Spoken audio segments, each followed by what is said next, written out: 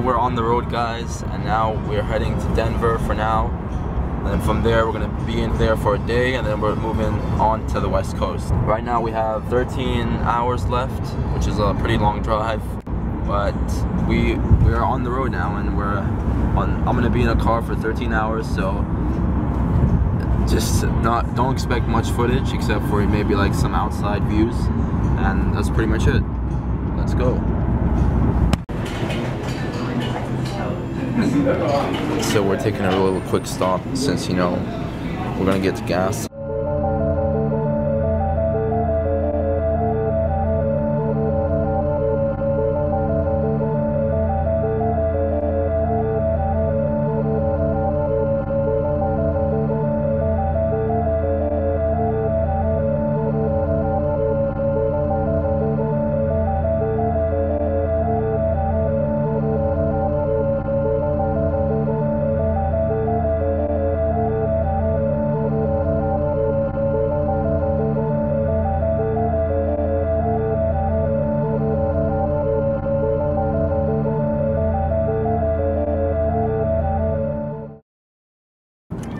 So guys, we've made it to Las Vegas.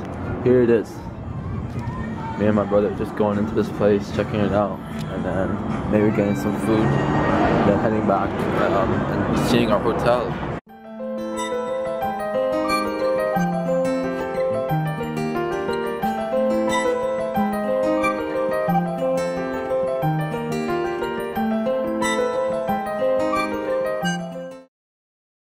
What's up guys? We are in Las Vegas and now we are in the MGM. We arrived here like yesterday really late so now we're out and I was here like maybe six, seven years ago but coming to see it again is pretty nice and there's a lot of stuff that have changed. Obviously like this I kind of remember the line being here but I don't remember all this lighting and look at all that and my sister hasn't seen it before this is the first time seeing it. My brother has seen it with me like the first time six, seven years ago. We're seeing it again and it should be it should be a nice vlog. It's gonna be a few days in Las Vegas and that, I think that's gonna be the part two vlog. I remember when I was here, I think the, the railway was still getting built, but now it's it's here now. And it's pretty nice to have a you know a train going back and forth uh, through these hotels.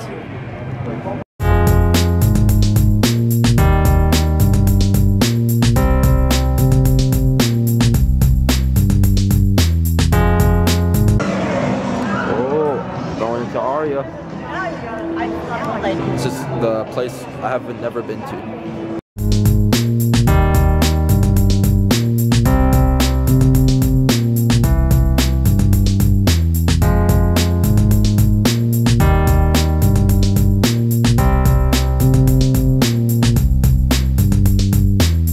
This is a pretty new hotel, so I haven't been here before, but other stuff I've been to, but this one I haven't been to.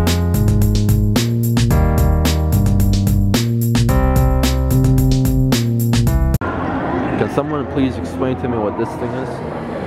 Just has a bunch of numbers and no idea what it is. It says some number up there, one, one, no idea what it is. But So right now we're in the Bellagio, and yeah, so far it's been nice. I've tried out a lot of fragrances, and I've obviously enjoyed the walk and the strip as well. And so far nothing has impressed me really, but I'm gonna tell you guys if something does impress me.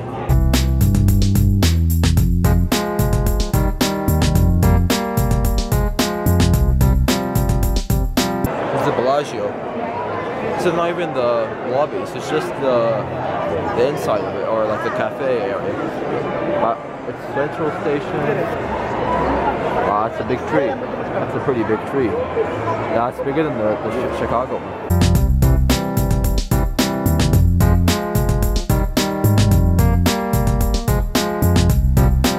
I spotted a Guerlain fragrance, uh, or I spotted a Guerlain uh, shop. Hopefully has some fragrances in there.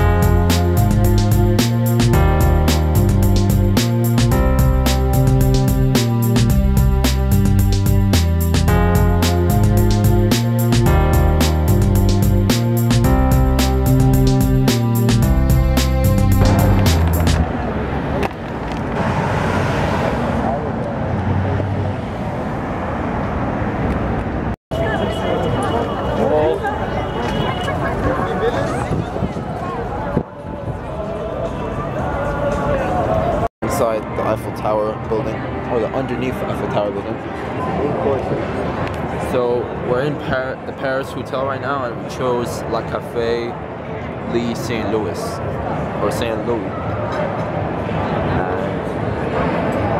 And looks, the interior is nice, you know. Oh, calamari, shrimp, bread, some juices, cocktails. Yeah.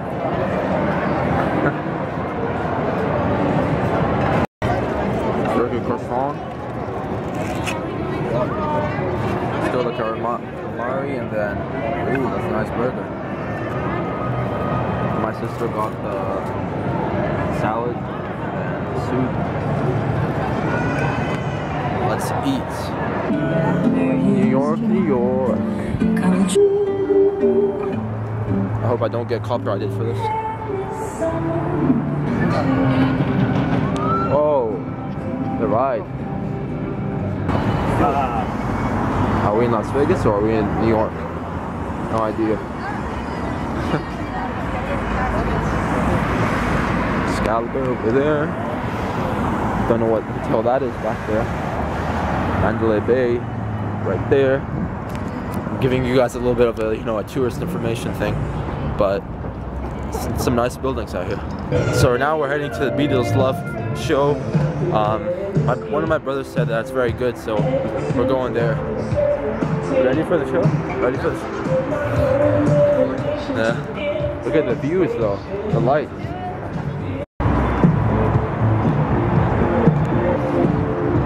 Ooh. Hopefully I don't get copyrighted. So we're just on time for the Beatles show. That was that was the Beatles show. It was How was it? It was good, but the Was it? beginning was the worst part. How about good. how about you? I would say attractive, you know. Was it good? A quote says you know, I there's a recommend- quote up there that says um, in the end the love you love you take is equal to the love you make. It's a good quote. This might be our first time in the Mirage. Yeah. We didn't come to We didn't come to the Mirage. What's up, guys? Now we are heading to the second part of the strip. Um, yesterday was a fun day. Um, it, was, it was Christmas Day as well, and it was pretty packed. So Merry Christmas to everybody who celebrated it, and hope you guys enjoyed your gifts. And now we're heading to uh, I think Caesar Palace. So let's head there.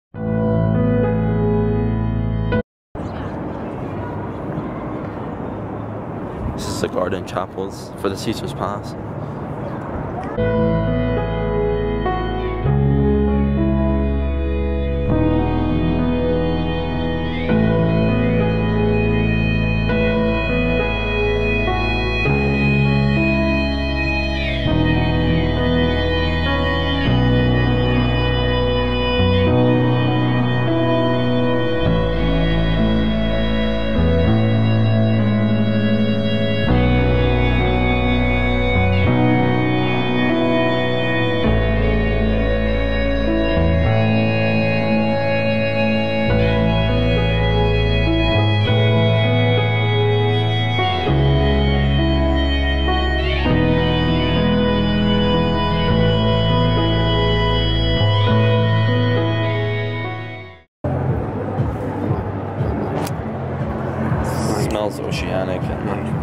It's a little bit salty too.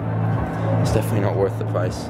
The Venetian, the Venetian, and now we're just walking through the Venetian, and then we're gonna go to the Palazzo or Palazzo Hotel. And then from there we're gonna go into the Fashion Show Mall, which is one that I'm excited for because it has every like niche fragrance I can think of. So it's nice to try out.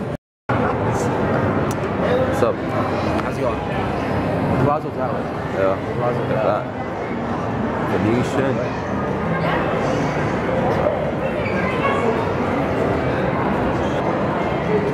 I think this is my favorite hotel. I have to see what my sister thinks because she hasn't been to this. And so far it's been between Bellagio, Bellagio and Caesar's Palace, but now we're in the Venetian, and I think this is my favorite. Even when I came like six years ago, this was my favorite too.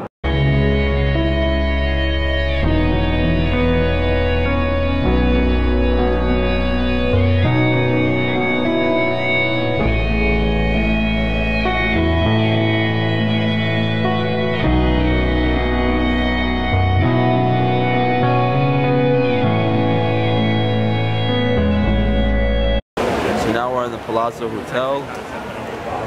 Look at the inside. The inside's pretty nice. Whoa. And you got the love thing right there. You got these dangling down. Don't know what those are, but nice.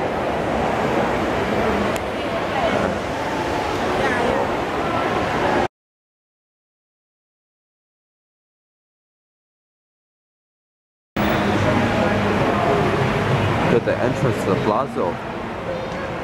Whoa. Treasure Island.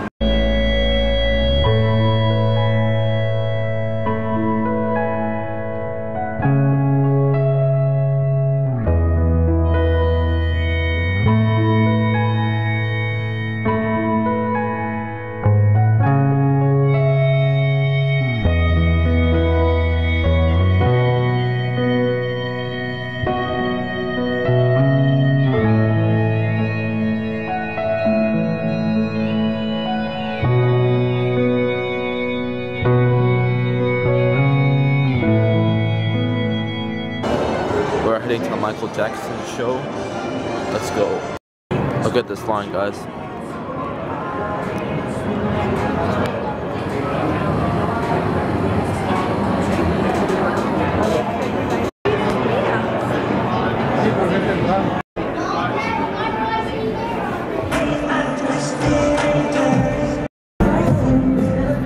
So we just now watched the Michael Jackson one show, and what do you think about it? Oh my god. Wow. It's a must see show. It's, was it better than the Beatles one? Uh, I mean, like, honestly, I, I thought this was a like a dance show. The Beatles was more of an art theater show. So they were both good, but sorry guys, Michael Jackson wins. Thanks. But what do you think about it? What do you think about it? I liked it. It was pretty good, I thought. Was it better than the Beatles? Some pretty solid uh, moments. Was it better, do you think, than the Beatles one? Overall, I think I like that one a little more. The Beatles one, you like more? Definitely. So, Oh. a little more attractive, a little more intimate. Uh, I think I liked the Michael Jackson one a little bit more because it was more exciting. I feel the Beatles sometimes had a little bit more of those kind of silent moments. So they were both good overall, and they both had like excellent performers. None of like they were all just on point, and they were both like on point with performing, and they all both had their own kind of uh, art and all that stuff. They've advertised the one Michael Jackson show right in the middle of the lobby. That's pretty special if you ask me. So now we're just heading back to our hotel, but I forgot to mention with the niche fragrances, you know, since I tried so many today, or so many today and yesterday, um, one thing I have to mention, what I realized with niche, niche fragrances is that they're all sort of artsy and creative and, and very like imaginative, if that's a word.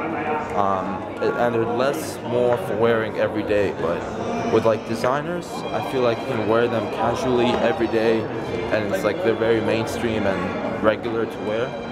But with niches, I feel like they're kind of special in there, and they're like made for their own purpose. Um, so they're not as nice to wear every day, and they they feel more special to someone. And that's why I feel like the difference is. So that's why on this trip I didn't buy any fragrances, or I might not. I might not buy any fragrances. I almost fell on the escalator. Um, but I haven't bought any niche fragrances so far. But there is some that I, I kept in mind in case I want to buy one. But I feel like they're definitely more artsy than than more um, wearing casually every day. This is the Luxor. Uh, don't get copyright. There's music in play, playing in the background. No, no copyright. This is a Luxor. It's a nice design.